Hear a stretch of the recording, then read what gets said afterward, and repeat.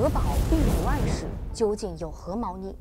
二零一九年八月，美国德特里克堡生物实验室这一所在历史上劣迹斑斑的实验室突然被要求关闭了。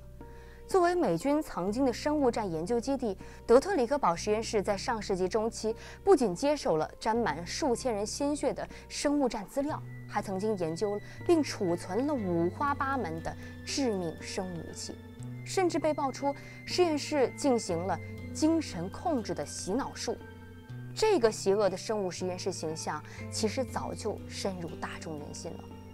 在一九九五年的美国灾难片《恐怖地带》。二零零九年的电子游戏《虐杀原型》里都提到或影射了德特里克堡从事生物战研究的经历。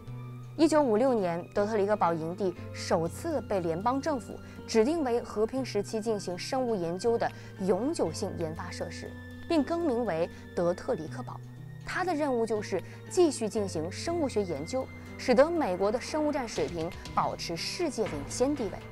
为了实现这一目标，美军在德特里克堡开展了一系列骇人听闻的实验，如美军在一项生物战计划中，试图通过飞机或者直升机释放携带黄热病病毒的蚊子来攻击敌国。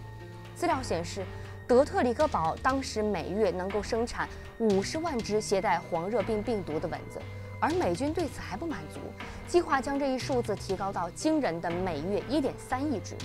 除了把无孔不入的蚊子当作武器，德特里克堡还研究了许多可用于摧毁作物或者是树木的病原体，甚至研制了多种生物毒素，并在纽约等本国人口稠密的大城市进行模拟作战实验。时至今日，围绕着这座臭名昭著的暗黑实验室仍然争议不断。